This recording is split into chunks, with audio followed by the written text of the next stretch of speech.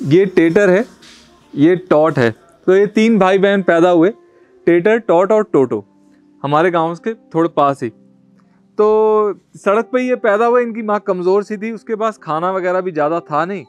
तो रात को ये बच्चे रोते थे तो वो इन्हें कहानी सुना के चुप कराती थी। वो कहती थी कि देखो, अभी हम यहाँ रह रहे हैं, पर हम कुछ दिनों में राजमहल जाके रहेंगे, उसकी दीवारें भी ब्रेड की बनी रहेंगी हम जितना मर्ज़ी उसे खा सकते हैं, हमें बिस्किट भी मिलेंगे, वहाँ गाड़ियाँ भी नहीं होंगे, लोग भी हमें प्यार करेंगे।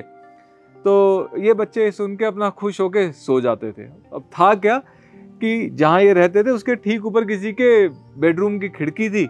तो जब ये रात को बच्चे रोते थे सोने से पहले तो वो वो आदमी परेशान होता था। अब एक दिन वो ज़्यादा गुस्से में होगा, घर में कोई बात हुई होगी। उसके दिमाग में क्या आया कि वो आया बाहर, उसने इनकी माँ को मार पीट के भगा दिया। तीनों बच्चों को उसने लिया थैली में डाला और निकल पड़ा। तो यहाँ पास ही में नदी है। नदी के थोड़ी ऊपर एक सड़क है। वो सड़क के कोने में इन्हें फेंक गया। अब ये बात है, दिसंबर के शुरू शुरू की एकदम ठंड कड़ाके की पड़ रही थी। अब ये अपनी माँ की शरीर की गर्मी से भी दूर हो गए तीनों बच्चे अब वहाँ पे अकेले।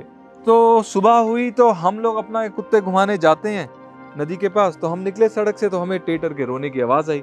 रोने की आवाज़ आई, हमने देखा तो वहाँ टोटो मरी हुई थी। टॉट अपनी आखिरी साँसें ले रही थी और ये रो रहा था। तो हम इनको झटपट यहाँ पे ले आए और इसको हम, इनको हमने अपने क्लिनिक में गर्म पानी की बोतल दे दी, हीटर चला दिया, थोड़ा गर्म सूप दिया तो इनकी जान में थोड़ी जान आना शुरू हुई। हमने फिर इंटरनेट पे डाला कि ऐसे ऐसे हमें बच्चे मिले हैं। तो लोग क्या करते हैं, जैसे खाना भेज देते हैं, आजकल अमेजोन से वो ऑर्डर कर देते हैं। तो उन्होंने करा तो अब माँ का दूध तो था नहीं इनके पास, अपना पपी फॉर्मूला खा खा के ये बड़ा होना शुरू हुए हेल्दी भी हो गए। अब हेल्दी हुए तो अब ये ठीक हो गए तो हमें ये होता है कि हम तो क्लिनिक चलाते हैं ना, कि यहाँ से अब जानवर जाए, जाएगा तो हम किसी और के इलाज की जगह बनेगी ना। तो हमने डाला, भाई, इन्हें घर की ज़रूरत है। तो कुछ टाइम बाद दो लोग सामने आए, उन्होंने कहा, हम पूरा पूरा परिवार है उनका। तो उन्होंने कहा, हम ये ले लेंगे इन्हें। तो अब ये दो तीन हफ्तों में वहाँ चले जाएँगे।